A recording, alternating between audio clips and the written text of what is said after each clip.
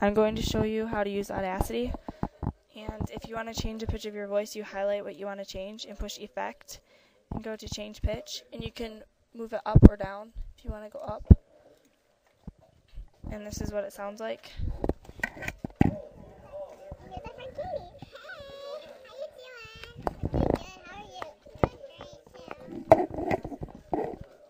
Josh, how funny.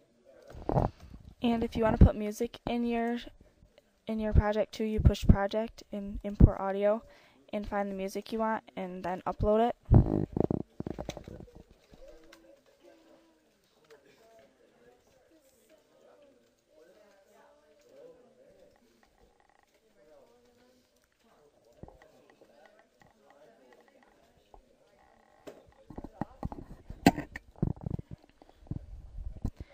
And after you put your music in, it's going to be kind of loud, so you might have to turn it down a little bit and then turn your voice up.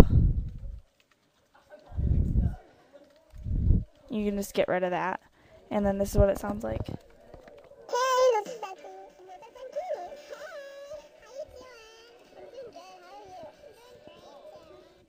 And you might have to move your um, volume on your music and voices around so you can hear both of them. And that's how you change your pitch and put music into Audacity.